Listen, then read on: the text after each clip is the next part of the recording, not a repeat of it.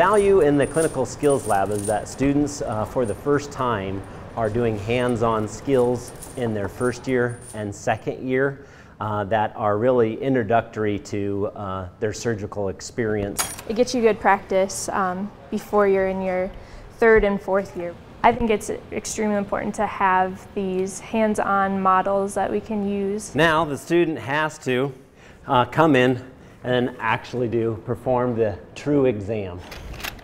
You don't really see a live animal your first few years, all you do is sit in the classroom. So while these may not be live, they are more lifelike and life-size. I think before um, the models were available, students really learned um, under fire. They, they learned in the moment. So they would go home and they would practice on a banana peel.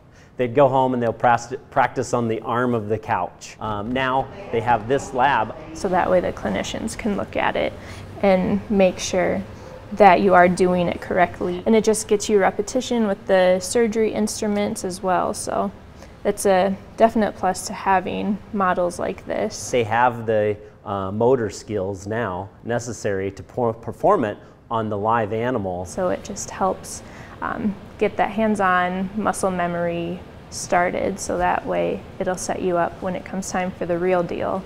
Multifunctional horse, multisensory horse, okay? So definitely uh, cognitive hands-on skills. The one thing that this doesn't prepare you for is how much a horse will jump when you try and poke them with needles, so. and once again helping you practice where to help put your finger, put your needle, so that way you're in control of it. If you feel more confident when you're doing it on these variety of species that we have here, then the more confident you're going to feel when you're going out on those calls, working with clients and real animals. The future of the clinical skills laboratory is unlimited. I think that uh, it definitely has, you know, a spot in every class, has a spot in every course.